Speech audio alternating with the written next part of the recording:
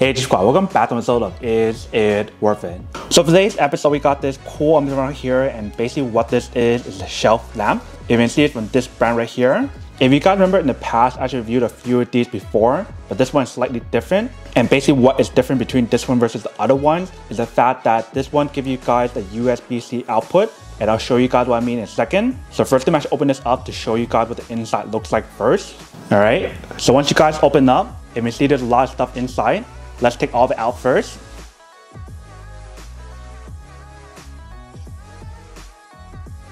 All right, so once you guys take everything out, here is basically what's included inside. So they do provide guys the user manual to teach you guys how to set everything up, but they basically provide guys everything for each different section. And when you guys look and feel the quality of the wood right here, it definitely looks and feels pretty nice.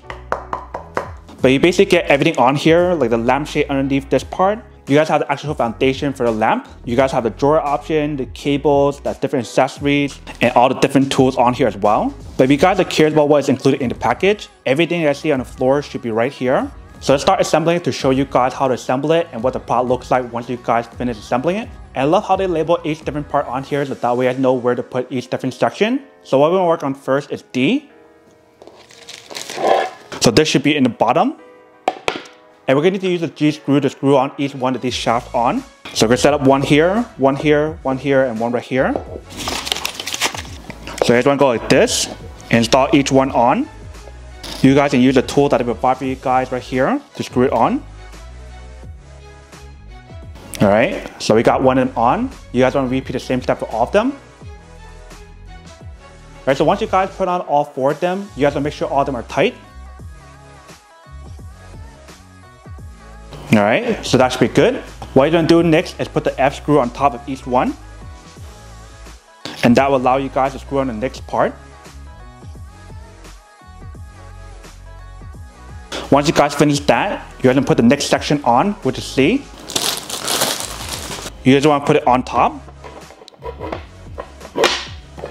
Just like that. Once you guys do that, you're gonna put four more on top. You guys wanna screw on each one. All right, so that's one. You to do the same thing for all of them. Once you guys do that, you guys want to repeat the same step and put the F screws on top. Once you guys finish that part, you guys can put this on top. So this is the one that allows you guys to put the charging station output right here and your phone as well. So when you guys screw in this part, you guys will make sure the bottom of the drawer is set up right here first. So remember it came separately, so I have to refix it a little bit. So when you guys set this part, you guys to make sure the drawer is in first. Same thing for other side. Once it's in, they can put it on.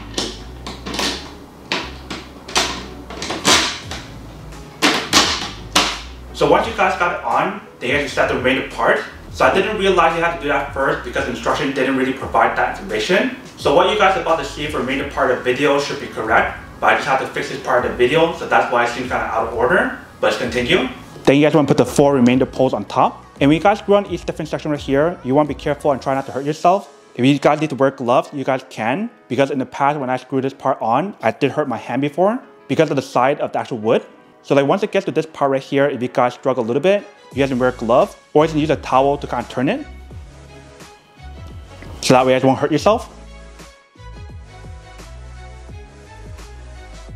Alright, so once you guys finish that part, you guys want to put this on top. So I have to go like that on top. And then you guys want to use a G-screw to screw on each different section. So one right here, one right here, and then one more right here, and one more right here.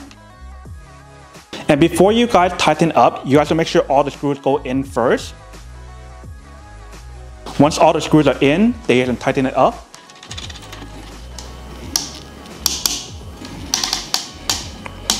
Alright, so once you guys finish setting up this part, what you guys want to do is set up the output on the bottom.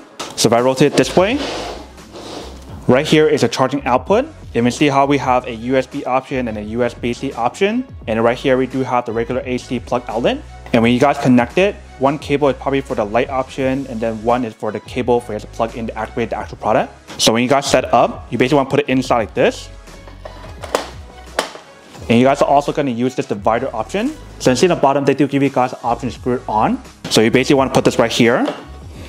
And you guys want to put the screw underneath both of them. So it looks like there's two for each, two for this one and two for this one. So if you guys have your own screwdriver, it'll probably be easier because the one right here is not convenient. So I'm actually go get my own one.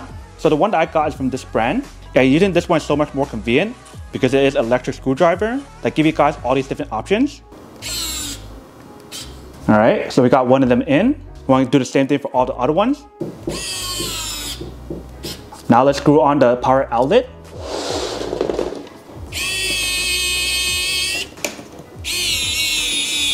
And we got screw in the power outlet, there's a certain slot in the bottom that you just want to fit in. All right, so we got that in. What we're doing now is to set up the light bulb option. So right here, we do have the light bulb cable. So when you guys take it out, here's basically what the inside looks like. So you need to unscrew this part right here and take this out. So they probably got the cable for you to pull it to turn it off and on. And they also give you guys an option right here that you guys want to unscrew and I'll show you guys how to set up. So you basically want to put the cable through the top like this. And you guys want to unscrew this part right here. Once you guys unscrew it, go ahead and fit it through the hole. And you guys want to slide the circle part through as well. Once you guys do that, you guys want to screw it back on. And the point of doing that is so that way I should give you guys that support in the bottom to prevent it from moving around. And if you guys notice for our side, we put the cable through the hole. That way we can pull it really easily. But in terms of this cable, you guys unplug it in. It only fits one way. Once you guys got it in, screw it back on. You guys all done with that part for now. What you guys want to do now is to set up the lampshade, which are these two different parts. So if you guys open up, here is basically what the lampshade looks like. So what you're to do is to use the metal frames or metal parts at the bottom and stick it on to the actual part right here. So you basically want to clip it on on all four sides. Once you guys have it on, this is what the product looks like inside. So what you guys want to do is put it on top. And then once you guys put it on top, you guys want to screw it back on. And once you guys finish that step, you have to put a light bulb on. So here's a light bulb that they include for you guys. You do have the option to use your own if you guys do want to, but you basically just want to screw it on top. Once you guys screw it in, that is basically what the inside looks like. And like I mentioned, the product gave you guys like a cable management option. Let me show you how it works. So let's for example right here, if I clip it in, you guys can manage your cable like this. So that way the cable is organized and not all over the place. And you can do the same thing for the bottom cable as well. All right. So once you guys finish setting everything up, this is what the product looks like. So if you guys saw the earlier part of the video where I talked about the drawer option, you guys need to install that first. But once you guys do set up each different section and the lampshade option, then you guys already start using it. But see when you guys do set it up, right here we do have the drawer option for you to pull it in and out really easily. So if you guys to put like your remote controls or something inside, you can definitely do that on here. Let me actually plug in cable to show you guys what the product looks like and how it works. All right, so if you guys pull the cable, it does turn on. So you see for this light that they provide for you guys, it gives you guys the option to change the different color temperature. So this is one, this is two, and this is three, and that's back to one. And for the light bulb option, you do have the option to use your own light bulb. So if you guys have your own smart light bulb, you can definitely put that on. But you basically have one section in the bottom, you have another one right here, and you do have the section on top right here to put your phone and charge your devices if you guys want to. So I'm actually go get some of the cables and test it out to show you guys whether or not the output works. All right, so I have one of the cables right here. Let me actually bring it a little bit closer to show you guys what the product looks like. So let's test out the cable option first before we test out the AC outlet. So like I mentioned for the product, it does have the USB-C and USB option. And I'll show you guys a close-up view in a second. But if you guys plug it in, if you guys try to charge your phone, it does work. And the way how they designed the product allows you guys to put your phone on here, just like that. And there's two different sections. So you guys can put one here and one right there. And they have a big slot where you put stuff in the middle here as well. But now let's test out the other output with the USB option.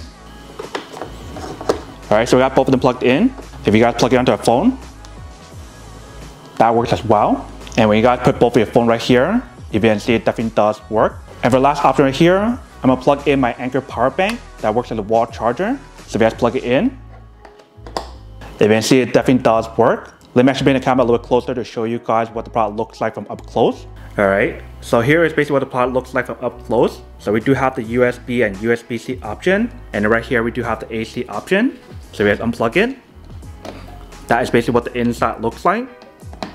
If you guys unplug these, that is basically what it looks like right here. But if you guys plug it back in,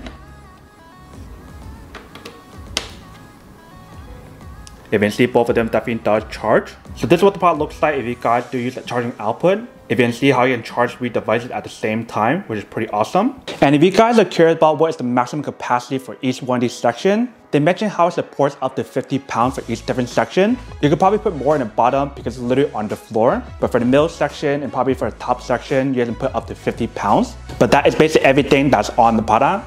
Now to come boxing and testing product. Now the end question of whether or not it's actually worth it or not. So for this product, I do have to say that it is pretty worth it if you guys want to need one of these, especially if you guys are trying to look for a high quality LED floor lamp that give you guys a shelf option as well and a different charging output, then I do have to say that it is pretty worth it.